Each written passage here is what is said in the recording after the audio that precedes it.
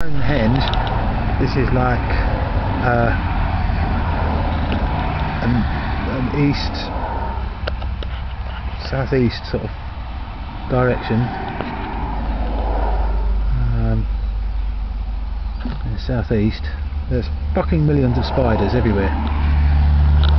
Uh, southeast direction, so I would anticipate there being some sort of airport over there because keep seeing things and then gone. And this is to the southeast of, well, from, yeah, now just over the pylon, is what we're talking about. They sort of like going up and down. It's now coming up to the the, the, the wood over the second pylon that's just behind the wood and now it is about halfway over the wood now about halfway over the wood. Um, it's approaching there are two birds flying over and a peregrine falcon coming uh, sparrowhawk or something.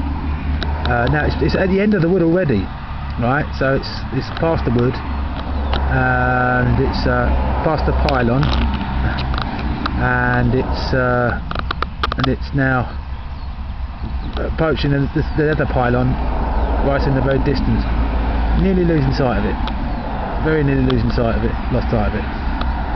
Uh,